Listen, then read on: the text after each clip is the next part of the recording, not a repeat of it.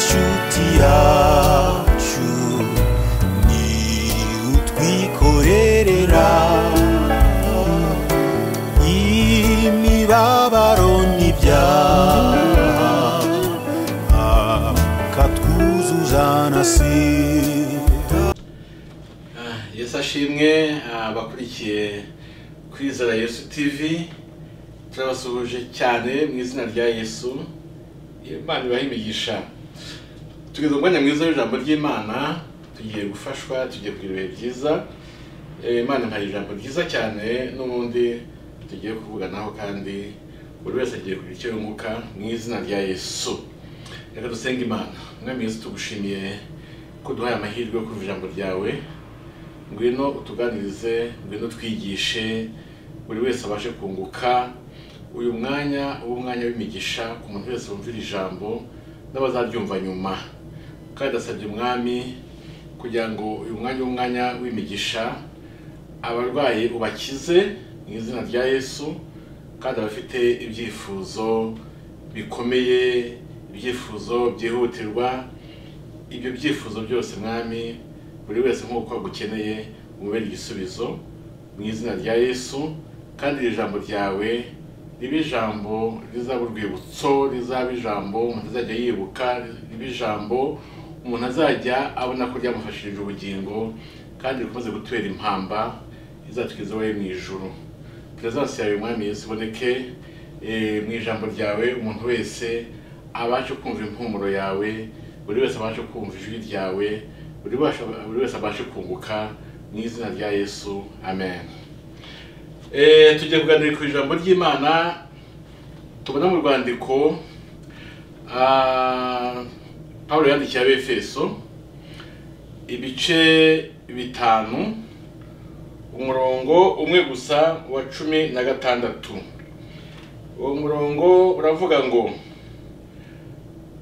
mucunguze uburyo umwete kuko iminsi ari mibi.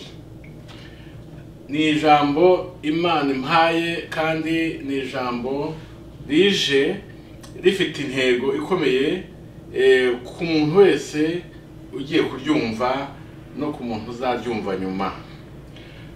Pawulo amaze kwitegereza abefeso nibo babyaje ubutumwa bwiza kandi bari abana be mu by'umwuka.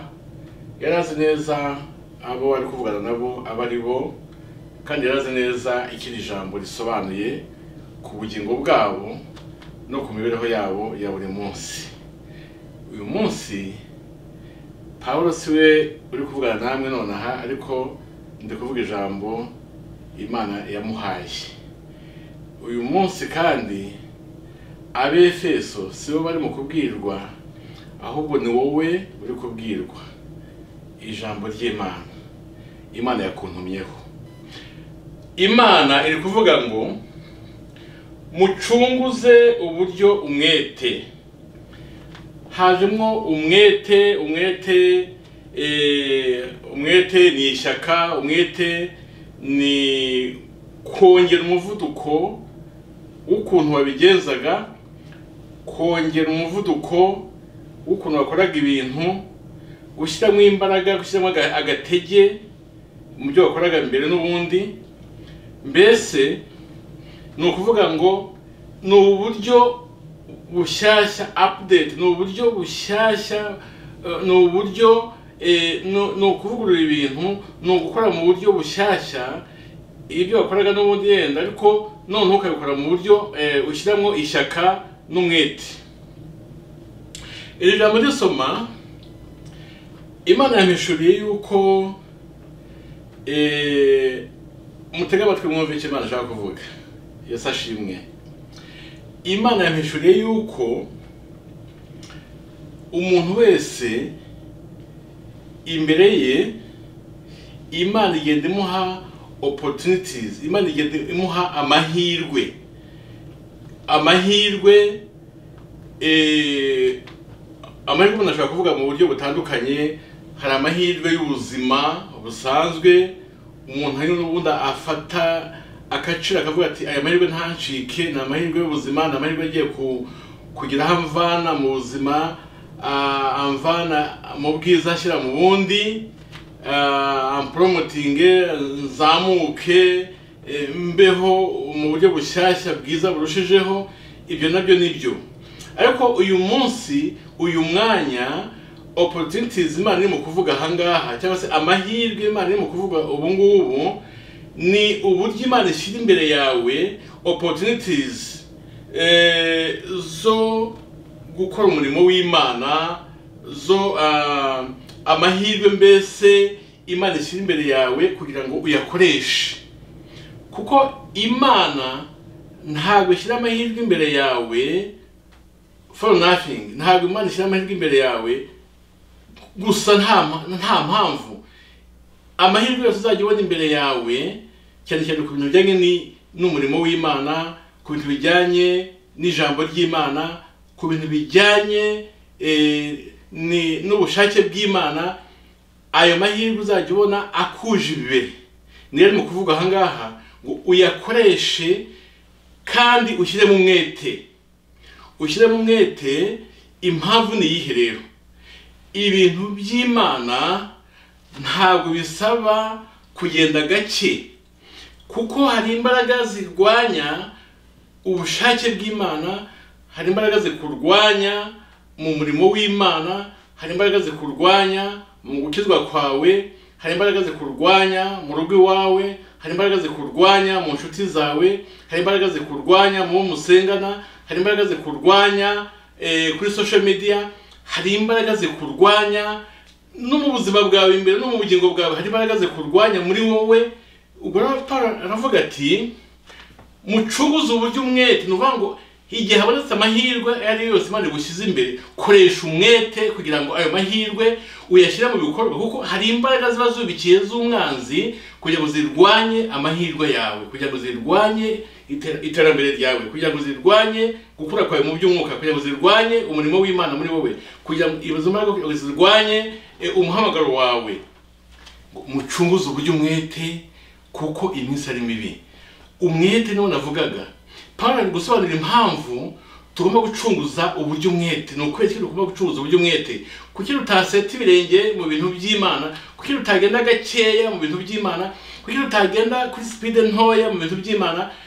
Kuki tugomba gucunguza uburyo umwete? Kuki tugomba gufata n'amaboko yombi eh, amahirwe imana iduhaye mu murimo wayo cyangwa se mu gukizwa kwacu ni kubera iki? Paul abisobanuye hano ngo mucunguze uburyo umwete kuko iminsi ari mibi. Because the days are evil. Ni ukuvuga ngo iminsi ni mibi iminsi paul hano avuze ko iminsi ari mibi ivo ni ikintu ki- kibi mu buryo bw'umwuka. Ni ukuvuga ngo iminsi kuri pawulo ntabwo yavuze ko ari myiza. Pawulo yavuze ko iminsi ari mibi. Ni ukuvuga ngo iminsi ni mibi kubera iyo mpamvu ducuguza uburyo umwete kuko iminsi niba ari mibi ni ukuvuga ko iminsi turwanya kuko ntabwo ikintu cyiza na- nabwo ntabwo ikintu kibi cyaba kiri aho ngaho kitakurwanya ikintu kibi ni ikibi tujye tumenya kwita amazina ikintu eh, ikintu kigira uko cyitwa. Pawulo ari kuvuga ngo iminsi ni mibi. Ntabwo yavuze ngo iminsi ni myiza yavuze ngo iminsi ni mibi. Mucunguze uburyo umwete kuko iminsi ari mibi. Iminsi iraturwanya iyi minsi igiturwanya ejo harakurwanije uyu munsi harakurwanya n'ejo hazakurwanya bityo rero ducunguze uburyo umwete kuko iminsi turi gucamo ni iminsi mibi itatwifuriza ibyiza itwifuriza gutsindwa itwi- itwifuriza ku- ku- kugwa itwifuriza guciga intege mu bintu by'imana itwifuriza kwicara kugira ngo duhaguruke dukore umurimo w'imana. Iminsi ni mibi iminsi uramutse uyubashye yagukorera agashya yaguhemukira iminsi ni mibi uyigize inshuti yaguhemukira iminsi niba ari mibi rero. Uyu munsi uri gukora iki? Niba uyu munsi nawe ari mubi. Kuko mu- minsi paul yavuze n'uyu munsi urimo. Uyu munsi nawe ni mubi. Uri gukora mwiki kugira ngo ucunguze uburyo umwete? Ejo uri guteganya gukora iki kugira ngo ucunguze uburyo umwete? Ni ukuvuga ngo iyi minsi rero ntiturangaze iminsi ni mibi ejo hari habi n'uyu munsi ni habi n'ejo hazaba habi ndavuga ubwo iminsi kuko pawulo niko yayise hmm? yavuze ko iminsi ari mibi. Ariko si ko ibintu bikorerwa mu minsi byose ari bibi ariko yavuze iminsi. Ntimunyumve nabi mvuge ngo iminsi ni mibi eh, ngo yenda wishyiremo ko iminsi eh, mu bikorerwa mu minsi mu munsi byose bari bibi. Oya uyu munsi hari ababyaye uyu munsi hari umuntu waguze imodoka uyu munsi hari umuntu waguze inzu uyu munsi hari umuntu abakoze ubukwe uyu munsi hari ibyiza byabayemo. Ariko muri rusange nubwo hari ibyo byiza paul we ntiyabyitayeho yavuze ko iminsi ari mibi. Ni ngo niba ugize amahirwe ukabona ibyiza mu mu munsi shima imana. Ariko ubundi umunsi ni mubi iminsi ni mibi bityo ducuruze uburyo umwete kugira ngo tubashe guhangana n'iminsi duhangane n'ibihe. Duhangane n'iminsi duhangane n'uyu munsi. Ejo uzahangane n'umunsi w'ejo ejo uzahangane n'umunsi w'ejo bundi duhangane n'iminsi kuko iminsi ni mibi ikintu kibi kirarwanwa si ukuvuga ko iminsi ibikorerwamo ari bibi byose ariko Pawulo yidentifiye iminsi avuga ko iminsi ari mibi ntimurangazwe n'iminsi iminsi ni mibi bityo ducunguze uburyo umwete. Tugiye gusenga imana. Mwami yesu ni ijambo ryawe. Ni ijambo ry'ubuhanuzi. Pawulo yavuze ko iminsi ari mibi. Aho ari kubisobanura umwuka rero ashobora gusobanura neza kurusha uko mbivuze ariko Pawulo yavuze neza ko iminsi ari mibi bityo ko kubera iyo mpamvu tugomba gucunguza uburyo umwete. Tugomba kureba opportunities tugenda tubona mu munsi dukwiye kureba amahirwe tugenda tubona imbere mu, mu, mu- mu munsi tugakoresha amahirwe yose imana iri gushyira imbere yacu muri uwo munsi tugakoresha amahirwe yose tugenda tubona imana ituzaniye imbere yacu tukayexploita tugakoresha ayo mahirwe yose atuje imbere. Muri uwo munsi mubi muri iyo minsi kuko iminsi ari mibi ariko amahirwe agenda aza muri iyo minsi tukayakoresha kandi tugashyiramo umwete tugacuruza uburyo umwete kuko iminsi ari mibi. Mwami yesu ndasabye kugira ngo usobanurire buri wese uburyo yamenya gukoresha opportunities cyangwa se amahirwe agenda aza imbere ye mu munsi.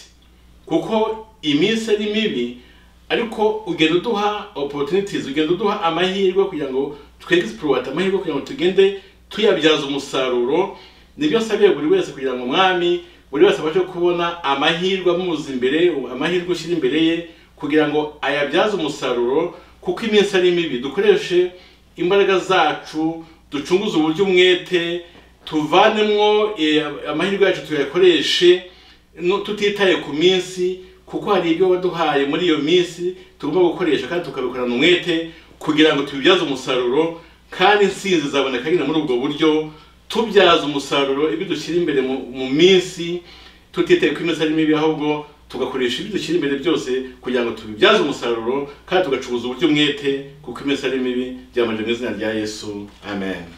Imana ibahe imigisha mwese mu izina rya yesu. Amen. Yesu ni we shuti yacu